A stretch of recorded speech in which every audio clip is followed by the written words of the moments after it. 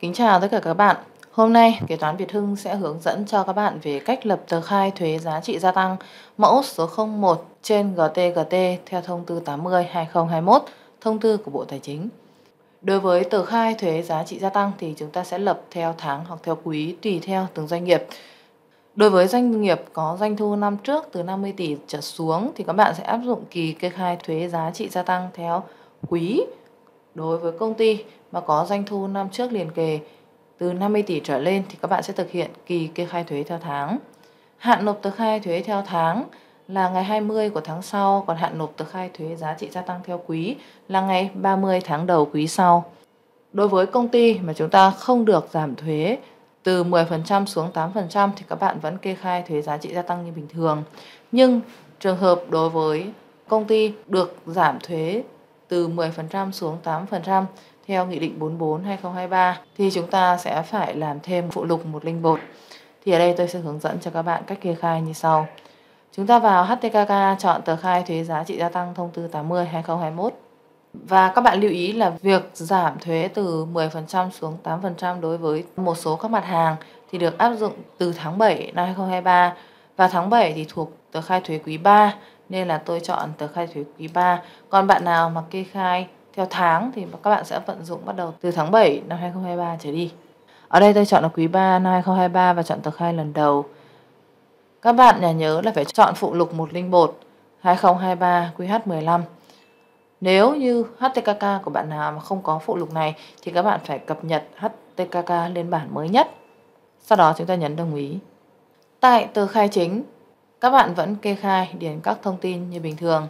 Trong trường hợp nếu như có thuế được khấu trừ kỳ trước chuyển sang, tức là số tiền ở chỉ tiêu 43 trên tờ khai kỳ trước thì các bạn điền vào chỉ tiêu 22 trên tờ khai kỳ này. Chỉ tiêu 23, 24 thì chúng ta điền đầy đủ vào 25. Ở đây, thuế suất 10%, không có thuế suất 5%. Ở đây tôi ví dụ như công ty này vừa chịu thuế 10%, vừa chịu thuế 8%. Doanh thu của hàng hóa chịu thuế 10% chiếm 800 triệu, còn doanh thu của hàng hóa chịu thuế 8% chiếm 200 triệu. Như vậy, trên chỉ tiêu 32, tôi vẫn điền doanh thu tổng là 1 tỷ và phần mềm tự cập nhật thuế 10% ở chỉ tiêu 33, nhưng trong đó có 200 triệu thuộc mặt hàng giảm thuế còn 8%, do đó tôi sẽ sang phụ lục 101 này. Tôi sẽ ghi là hàng hóa dịch vụ được giảm thuế và tổng doanh thu hàng hóa dịch vụ được giảm thuế ở đây là 200 triệu. Tôi điền vào chỉ tiêu số 3.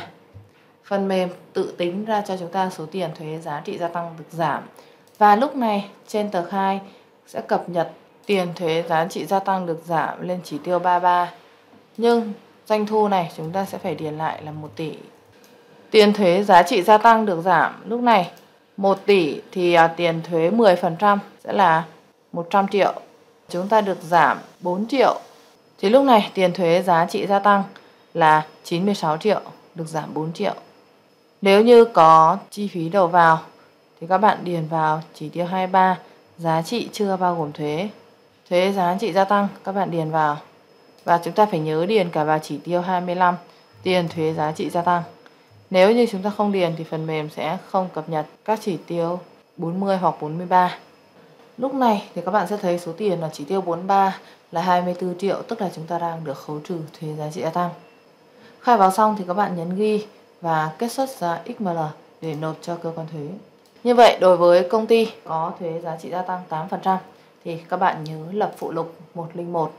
Đồng thời, điền doanh thu chưa bao gồm thuế của những hàng hóa dịch vụ chịu thuế 10% ngày trước và bây giờ được giảm xuống 8% thì các bạn điền vào chỉ tiêu số 3 này. Như vậy, tôi vừa hướng dẫn cho các bạn về cách lập tờ khai thuế giá trị gia tăng trên phần mềm HTKK. Chúc các bạn học tốt!